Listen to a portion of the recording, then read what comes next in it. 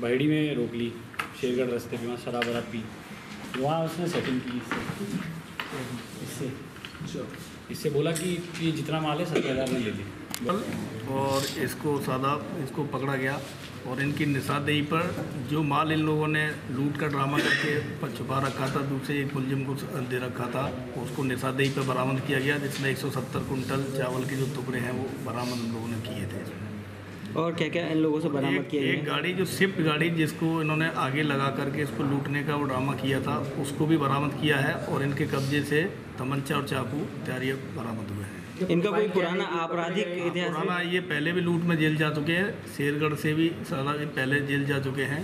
और ये लड़का जो ड्राइवर है ये भी हरियाणा से पहले एक बार इसने एक लूट कराई थी और एक चोरी कराई थी अपने मालिक की गाड़ी। उसको भी बरामद कर लिया था उन लोगों ने इसमें जेल गया है। किस प्रकार की कार्रवाई की जा रही है? है वो चेयरमैन का बेटा बताया हाँ। एक इसमें जो चेयरमैन वो अज़ीज़ है चेयरमैन भूतपूर्व अ, दौरा टांडा के चेयरमैन उनका लड़का है।